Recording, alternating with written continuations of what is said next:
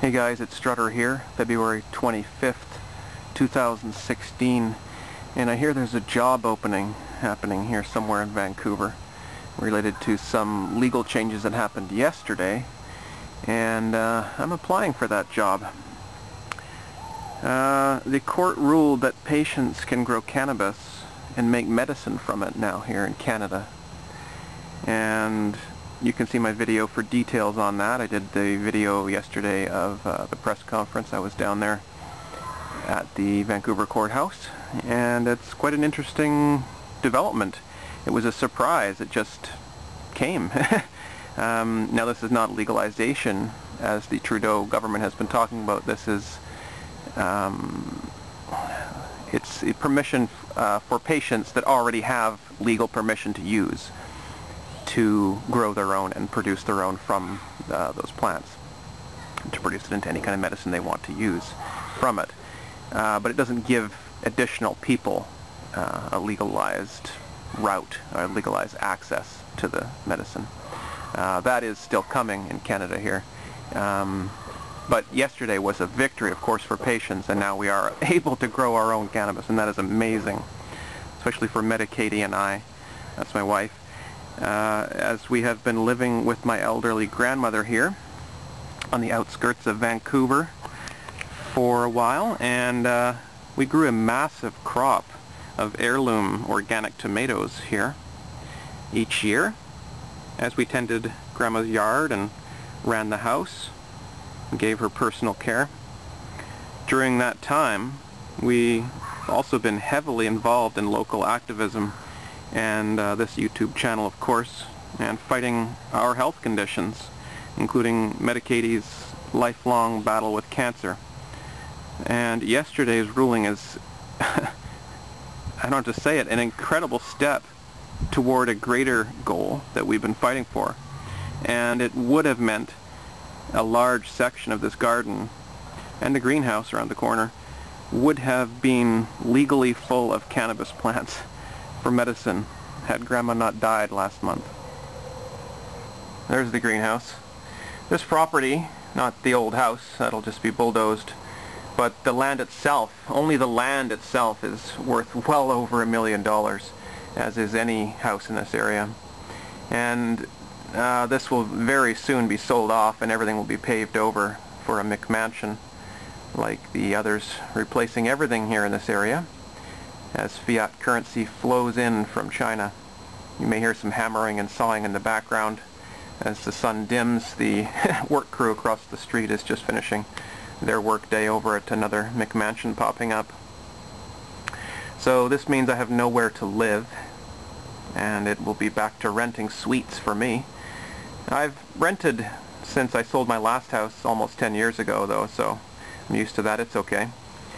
Vancouver's been the hardest and most expensive city in the world for renting in recent years. You've probably heard that. Um, and now any vacant spot is being taken by the government to house Syrian refugees. So there really isn't a closet under a thousand dollars a month, let alone somewhere with a garden. Going over the details of Canada's medical cannabis laws and yesterday's ruling, I realized that patients can legally designate someone else to grow and produce their medicine for them. Some patients are too sick or too busy to do it themselves, while others don't have the expertise to do the job, but still need access to properly grown medicine of the right strains, that they know how it was made and what was put into it or not put into it. Might I be the right person for that? I'm a long-time medical cannabis user myself, and I know cannabis from a medicinal, recreational, and cultural viewpoint. The hell's with the planes going over while I'm trying to read? I'm an activist myself, fighting for liberty and patient rights. I have a long track record of growing organic heirloom tomatoes and other plants in a variety of methods and conditions. I understand the legal and financial aspects of the industry. I have a number of connections and friends to draw from. My education was in psychiatry, biology, and medicine as I worked as a nurse for 10 years before going into activism. I work very hard and I see results in the areas I set my sights on. So I am uniquely and perfectly suited for this in my opinion. But I need a place to live within the Vancouver region and near public transit that has room to grow plants legally. I also need income to pay the rent on such a place and pay for the activism I intend to continue.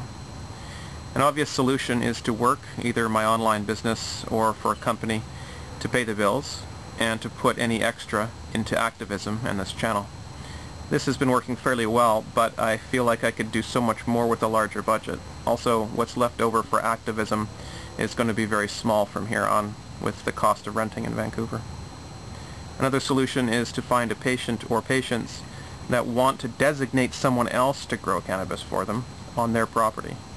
From seed to finished bud or concentrate, I have the skills, connection, and drive to make you the best medicine you've ever had. As the industry goes mainstream in Canada and huge corporations position themselves to make billions selling inferior product to sick people, and trading their stock, and lobbying to shut down small private gardens, I simply want to put my green thumb to work helping others and making enough currency to survive and to do my activism. I've lost lifelong friends, family members, a vehicle, even my home, and had friends taken to prison because of cannabis prohibition. But I'm on the right side of this, and I have been all along. I won't stop fighting for liberty, and for the patients who need this plant to survive and give them quality of life, including myself and my sweet girl, Medicatie. Whether you're a friend of mine, or somebody who's been watching for a while, but we've never spoken, if you have something or know of something that might work for both you and I, please contact me. I may seem like a long shot, but the ruling yesterday is a major game changer, and this would be the start of incredible things for me and for the good I do through this channel. Thanks.